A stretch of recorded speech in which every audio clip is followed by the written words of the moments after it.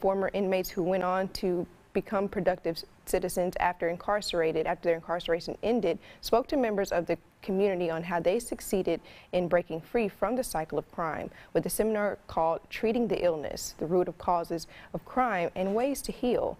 NBC6's Shirley Busico takes us there.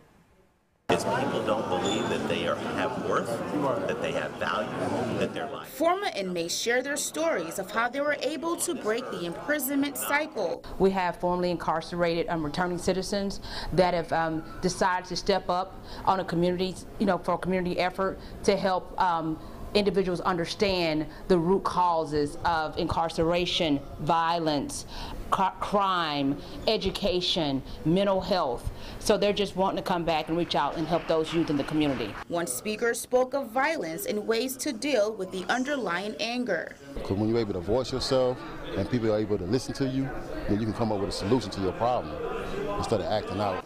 I did 12 years, like I say again, in the federal system, right? But I made a choice to come home and turn my life around, right?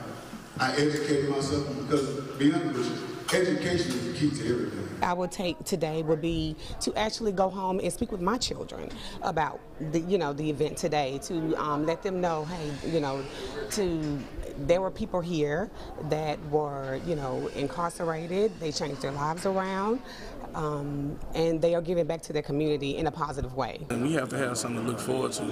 You know, we got to start lead by example and uh, uh, being accountable for our actions. Shirley Busico, NBC6 News. The nonprofit Compassion for Lives also partnered with SPAR to sponsor the seminar.